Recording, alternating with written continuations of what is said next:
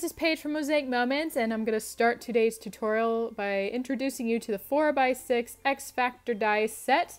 So just now I was holding the frame part, which is the largest piece in the set. There's also this layering die, so you can fit a 4x6 photograph within that frame. There's also this 3x4 frame size and I had the other one turned the wrong way, but you can line it up with the 3x4 X Factor die, and you can line it up with the 2x4 X Factor die. So this is optional. I am not going to be using it for my page today. This is the 2x2 X Factor die, and this tiny little die is handy for filling in those corners, which I will also be showing in this tutorial. To create a stunning X Factor page, I will also be using the 3x4 and the 2x4 X Factor dies. Plus, I have this die that is from the 4x4 X Factor die set just to make those photographs in more interesting shape. Before using the X Factor dies, you'll definitely want to plan your photographs beforehand. You want to take the subjects of your photos and make sure it fits within the X Factor die shapes so this one here, I'm actually going to be filling in that top and bottom part of the X Factor layout. So I made sure my subjects could fit. If you're using people, I do not, and unless there's a rare case of it, I do not cut through people's heads. I'm going to be doing the same thing with the 2 by 4 X Factor die. I'm making sure my subjects can fit within those small spaces as shown here. So definitely plan out your page beforehand. Make sure your subjects are small enough. And there's also the options to print your photos smaller than a full 4 by 6 to make sure the subjects fit within the small spaces as well. All right, so let's get started with the tutorial. So first, you want to create your base pieces. So right now I'm cutting with the 4x6 die from set B and the 4x6 X Factor frame will go on top of this. And now I'm going to use the 3x4 die from set C. And of course, my 3x4 X Factor die will go with this one. So base pieces are cardstock mats and the purpose of them is to give your X Factor dies a bit more sturdiness because they're very thin. So I'll talk about that more when I create my layout. This is the 2x4 die from set B, and of course the 2x4 X Factor die will go on top of this one. And last, I'm going to go ahead and use the 3x3 die here from set A. This will be the background for a few of the photographs that will not get the complex X Factor die cuts. Now that all my mats are cut, I'm going to start gluing them on my grid paper with my repositionable glue. This is the Herma Dotto dispenser. And I'm placing this 4x6 mat basically in the center of my grid paper. And the 2x4 sizes are going to go on the top and bottom. They basically go where there's a more narrow space on the grid paper next to the biggest cut. And the 3x4 dies are going to go in the area where there's more space on both sides of that 4x6 piece. And last, I'm adding these three by three size squares to fill up the rest of the grid paper. And because these are all down, these will allow you to line up your X Factor dies more correctly and easily. So I'm getting this last one done and always take your time when you're adding these pieces to the grid paper. Now I am going to start cutting with the X Factor dies. This one again is the 4x6 X Factor dies, the largest one in the set. And now I'm placing everything in my machine based on the manufacturer's instructions. This is the Sizzix Big Kick die machine, by the way. So once that's rolled through, you can see that frame popped out pretty easily here. And then I have this extra cardstock I can use for another layout. Next, I'm going to cut with the 3x4 X Factor die with the same color cardstock. This is sold separately from the 4x6 X Factor die, in case you're new. Figured that'd be good information to know. The paper was stuck, so now I'm using some sharp tweezers, and there's little holes in the back of the die to help you get these cardstock cuts out. Last, now I'm going to cut with the 2x4 X Factor die. And again, I am using the same cardstock. I think it's a nice uniform look to keep all the X Factor dies the same color. Alright, now you can add your X Factor cuts to your page. So take your time as you're adding the glue because these are very thin cuts. They can bend and rip apart very easily, so be careful, especially if the cardstock you're using is thin. And so with this base piece, just like here, I'm able to see that the X Factor die is lined up correctly. And I am using, by the way, you can always grab a piece of cardstock to make sure you don't get glue all over your page or on your table. And then, of course, I'm lining it up. You can see how it lines up here. And this is the purpose of the X Factor dies is that they are designed to have each of those lines line up together. And that's what makes the entire page look so neat in the end. But when you're using these dies, again, you will see they're very thin. And when you put them on the grid paper, they kind of warp and sometimes it's difficult to actually get them lined up correctly on the grid paper itself. And you're welcome to try it out to see if this will work for you or not.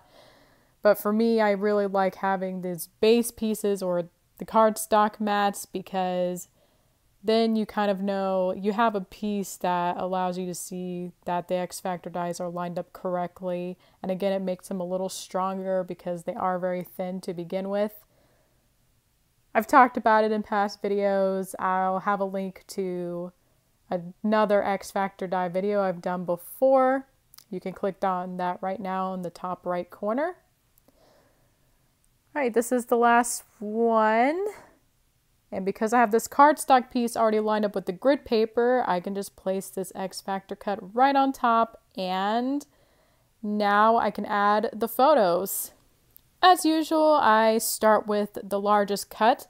So this is the layering die that is provided in the 4x6 X Factor die set.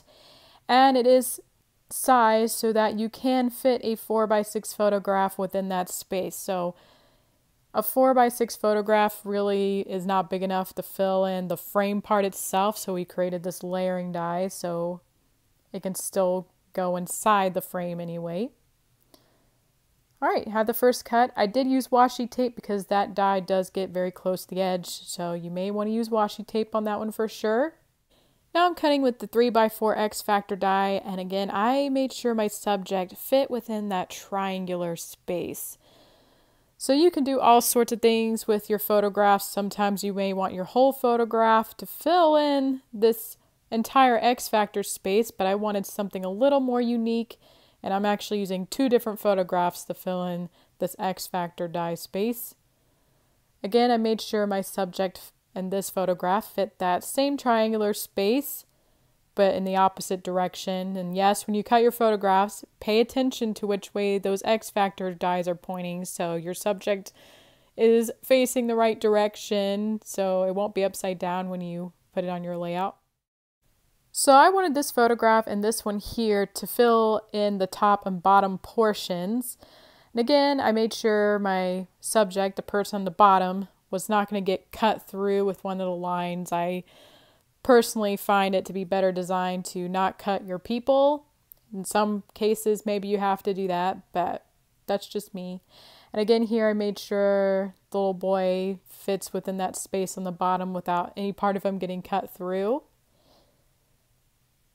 All right, so I'm cutting this one, and again, I'm not gonna, the photo may not look cut in the video, but it actually is cut, and then when, before I put them on the page, I'm gonna pull it apart. This is the 2x4 X Factor die, and I'm doing the same thing as before, where I'm making sure my subject fits within that small space. So I'm going to be cutting with this one four times. If your photo can't fit, um, you can always use a pair of scissors to trim it down and then roll it through the machine. And again, just like before, when you use this die, you want to make sure that your photo is going in the, being cut in the direction you want it to be on the layout. And again, here you notice my subject. He was, the photograph needed to be printed smaller so he could fit in that little tiny space. All right, and this is the last one. Probably, yeah, I'm going to cut it again with scissors so it can fit through the die machine. Then I'm going to roll it through. Again, the photo is cut, but I'm just keeping it together until I put my photograph on the layout. And last, these four photographs are going to be cut with this octagon die. This is an optional die. You do not have to use it with the X Factor sets. I just wanted my photos to have a more interesting cut than just the typical square shape. And this die can be found in the 4x4 X Factor die set. So that set has the 4x4 X Factor die that fits the grid, and then it has several layering type of dies that you can use in the X Factor set. And again, it's optional. I haven't used it every time I use the X Factor dies, but this time I thought it would add a little more interest. All right, and as you can see, it's pretty easy to use. They're just like the basic die sets. You place on the photo that you want to crop and then roll it through the machine as I'm doing here, and then you're done. And it's ready to be added to your layouts. Okay, I have my repositionable glue again, and I did not separate my photos. I didn't want the little pieces to get scrambled everywhere. So this way I can keep them a little more organized. And as you can see, I'm just gluing right on the back on the parts I want to place on my layout. And then it's easy to just pull those pieces apart.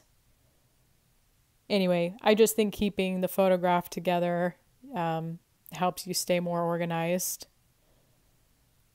All right, so pretty much done with all the 3x4 sizes here. And as you can see, it has this neat look to have the two different photographs in the same shape. You could even have three or four different photographs in each portion of the X Factor dies. So if you want to even add more photos, you can totally do that. All right, now I'm filling in the 2x4 X Factor dies. And again, it's pretty easy. I kept the photos together to keep them more organized. And then I'm gluing the back of them. And it's really easy to fill in those X Factor spaces. All right, so this was done with that octagon shaped die. And pretty much it fills in the entire space except for those four corners. So this is a neat die if you just want a unique look to your layout and you could even use it on a layout that doesn't use the other X Factor dies as well. And I like that you can see those green corners in the background. Of course, my last photograph is this one for the center. And again, if you wanted the photograph to fill in that entire center space, you would have to print a 5x7, but with the layering die, you can use a 4x6, and you can kind of see the map behind there, which I actually like. And of course, you take your time and make sure it's centered. All right, I'm actually going to fill in these small triangular spaces now. Earlier you saw this die. It comes in the 4x6 X Factor set and basically instead of having to use one of those giant dies, you can cut all those little corners all at once easily with this little die and look how quick that is. And I didn't have to sit there and try to fill in that bigger die like I've done in the past. So that die is really handy. And these triangular spots are larger, so I am using the 2x4 now to get those spaces. Of course, I'm going to be cutting with that one twice actually. And I'm also going to get this triangular space using the 3x4 X Factor die. And I'm also going to be cutting with this one twice as well. And I am using pattern paper to fill in these triangular spaces to add interest. So I ran these through the Xyron Create a Sticker Machine. I've talked about that in past videos as well. basically you put the pieces in through the machine and it turns them into stickers and it's great for these really small pieces. It's for me it's a lifesaver. Otherwise it would be really difficult to glue down some of these more intricate designs especially, but for me it's fast and easy to just get these little pieces down and they're very sticky. And it is also repositionable just like the other glue. Alright, and as you can see, I can easily fill in these corners. And it's the last one, and I'm done! So I really love how this layout turned out, and I do consider it a little more advanced just because I was putting multiple photographs within the X Factor space, and it does take more time to plan that out. So keep that in mind that this may take more time than usual for you. But if you enjoyed watching this tutorial and love the X Factor die, be sure to like this video and you can come back to it whenever you would like. Also, if you haven't already, please subscribe to our YouTube channel. We actually put up a video every week. And so if you love our tutorials, be sure to subscribe so you don't miss out on future ones. Alright, I hope you enjoyed this tutorial, and I'll see you next time.